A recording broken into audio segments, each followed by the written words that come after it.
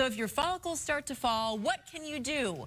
Well, here to talk to us, talk us through it rather, is Dr. Robert Dorfman, whose specialties include hair restoration. I need to mention this right from the outset. You've worked with several friends of mine. You have a completely innovative approach when it comes to hair loss, and, and your treatments have worked. Hmm. Um, so first of all, what options, because it can be overwhelming. If you're a man or a woman looking to, you know, regrow your hair or preserve the hair that you have, what are some options out there for people? Yeah, and you know what? I like that you said uh, men and women because people traditionally think this is just a male problem. Right. And, you know, it does affect 80% of the male population, as, as many as that, but also up to 50% of the female population wow. after menopause. Mm. So if we talk about problems that affect society, I mean, this is one of the most prevalent problems that affects you know men and women worldwide.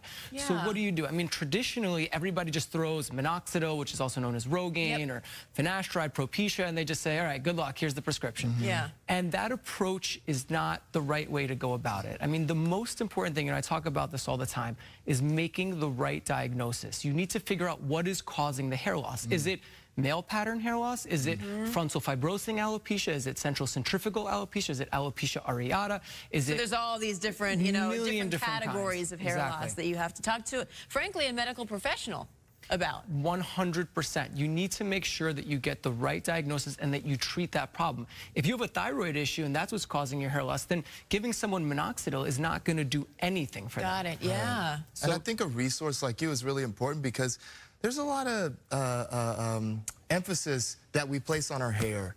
And when we lose our hair, there's a, a shame thing that happened. Look, one of my biggest fears in life, Dr. Dorfman, was to lose my hair and to be bald. Okay, and then 10 years ago, really but does. 10 years ago it happened and it yeah. wasn't easy for me at first, like I know for many people out there watching this morning perhaps, but it worked itself out. But a resource is really important to be able to go see somebody like you if you want to, you know, fix your hair situation. What are some of the new cutting edge trends that you're seeing? The, well, right now there's a big emphasis being placed on stem cells. This is something that in the mm -hmm. past kind of had, there were some political issues, so it kind of took, you know, people stopped looking into that, but now it's yeah. kind of made a resurgence. So that's one of the very interesting things is stem cells, exosomes, these kind of regenerative medicine treatments where your body's healing itself. We've seen very, very good results with those. Um, the most important thing I think that we need to focus on is prevention. That's where the mm. future of hair loss is. Unfortunately, there is no magic bullet. There is no cure. Or, you know, we, I, I, studied the history of hair loss, and even since the 1960s, people have been talking about, you know, growing hair in like a petri dish. Like, sure. we're nowhere near that. But the reality yeah. is, if you catch it early, if you see a hair loss professional early, if you prevent the problem from happening, that is the most effective way to get the best results. Mm -hmm. And mm-hmm. we see that in all aspects of medicine, right? So if you why do we place so much emphasis on screening for cancer?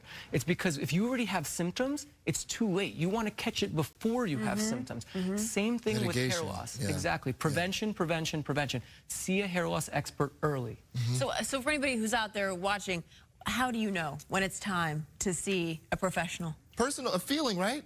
Well, so, so like that's internally? Well, so that's actually interesting. That's why I created my company. Is you know, the, by the time most people notice hair loss, you've already lost a critical amount. It's already mm -hmm. as many as 40% of your hair is already gone. By the time you look in the mirror, and you're like, hey, this looks really thin. Yeah. We want to catch it before that. We want to get people on the right treatments even before then. And that's, we're working right now on different kinds of devices that you can use that use things like uh, artificial intelligence and machine mm. learning that can actually scan your hair and notice it before you even look in the mirror. That's wow. That so then, so then when should you go? I mean, so this, are you saying that this needs to be a routine part of your annual wellness check in the same way that we go to get physicals once a year and yes. go to the dentist, that we should also be going to a hair person? 100%. Mm. Even when, let's say, uh, what I also want to do is focus on educating people like hairstylists, right?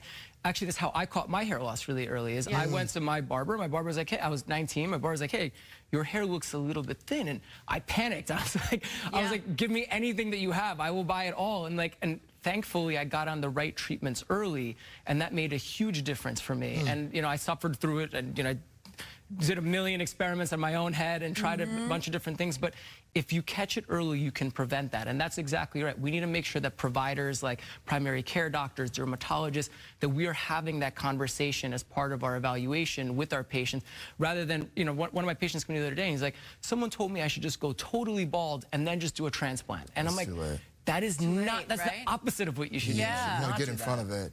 Yeah. 100%. Yeah. Um, so you have the state-of-the-art clinic in Beverly Hills, and also one soon to come. He has a in new, yeah, Calabasas. new Yeah, that's right. Wow. Yeah, so tell us about that before we let you go. Yeah. When people come in, what what can they expect? Yeah, so it's awesome. We have a beautiful new clinic right in the heart of Beverly Hills across from Rodeo Drive. Um, I actually wanted it to feel not clinical. I don't want it to feel scary, like you're coming to this like doctor's office. It's actually super modern, doesn't feel like a doctor's office at all. We've got good music playing, good energy. Um, and we have state-of-the-art treatments for anything you need for hair. We make our own shampoo, conditioner, serum products. We have our own exosomes, our own PRP kits. Um, we do pretty much anything you need to treat your hair. Um, Comprehensive. comprehensive. And we also do beauty and aesthetics too. Yeah. So while you're oh, there, you can also do that. something Yeah. for everybody. Thank you okay, so Dr. much. Dorfman, thank Appreciate you. Appreciate you for coming in. Yeah, thanks for coming by. And then how can people find you online? Um, you can find me at donebydorfman.com, so www.donebydorfman.com and hair1000.com. Love it.